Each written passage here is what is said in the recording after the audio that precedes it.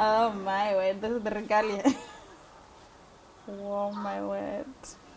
This ones they will remind me by the time of the elections when the ruling party uh, Robert Mugabe they started to do like creating like designing things which the youth who all love so that like the, they decided to like to put, to design their overalls the nice overalls even these barretas the bandanas so that they would draw the attention from from the youth and everyone so that everyone would love their dressing and everything.